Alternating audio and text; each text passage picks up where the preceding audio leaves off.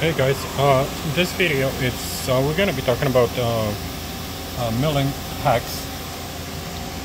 So my hex is 417, one inch and 417 minus 10,000.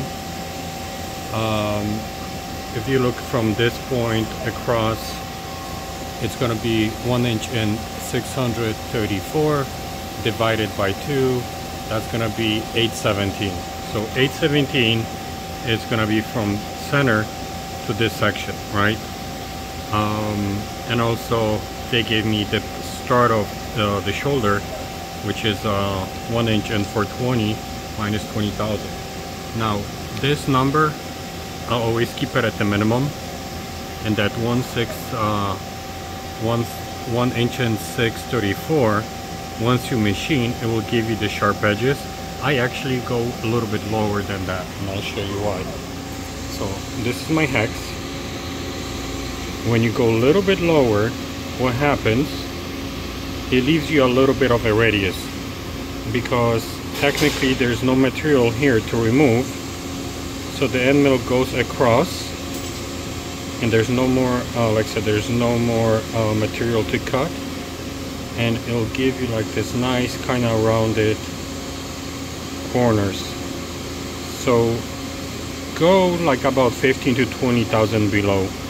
And same thing as this edge as you see this is the taper.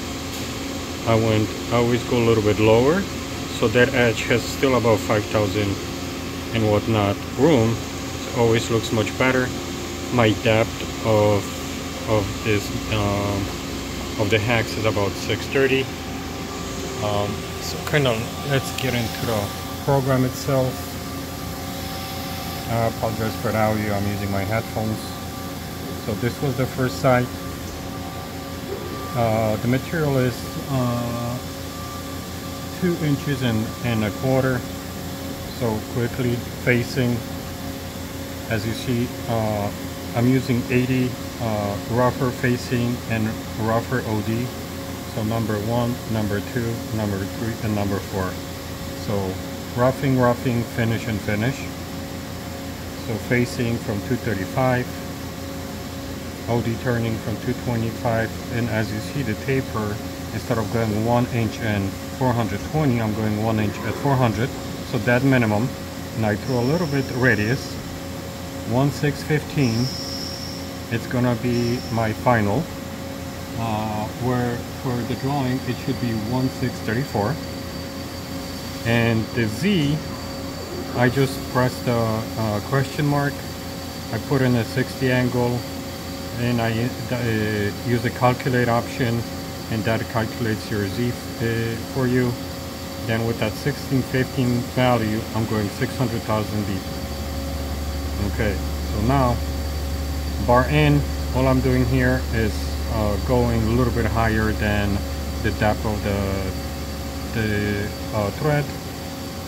Uh, going 990 uh, 130 deep and it's just a regular 45 degree chamfer. Now I'm doing this in two left lane passes finishing passes. So as you see it's only a finisher and finisher so no roughing. Using X and C uh, these I don't care for because like I said it's it's these are finishing passes. Same thing everything open zero zero. My end mill is seven uh, three quarters. Uh, approaches are automatically uh, assigned.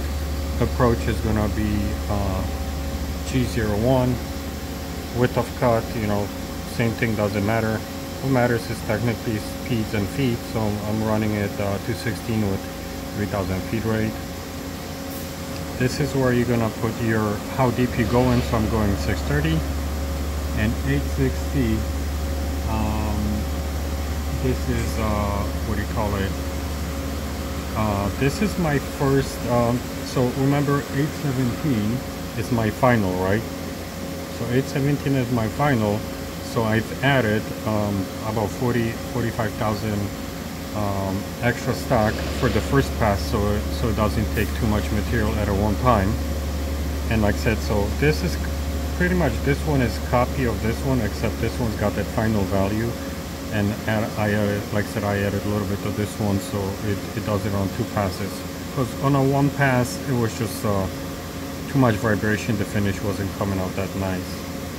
Um, so as you see technically 860 is gonna be that uh, that radius on X and then everything is zeros minus 60 minus 120 minus 180 minus 240 minus 300 and 0 this is gonna do everything the same on your R and your C.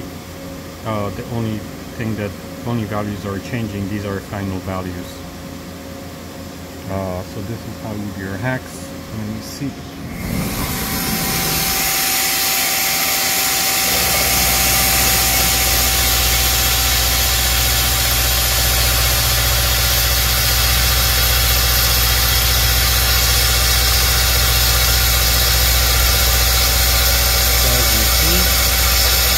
the seat is rotating and the turret only goes up and down. It's just where it goes a little bit up in the air because there's no more material.